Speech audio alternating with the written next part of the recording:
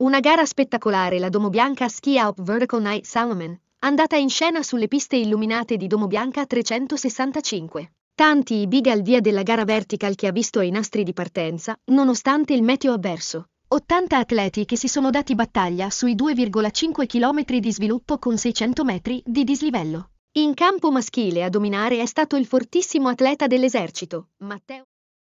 Abbonati a soli 9,90 euro all'anno. Autosalone Tedeschi, concessionaria Suzuki per il VCO, a Piedi Mulera.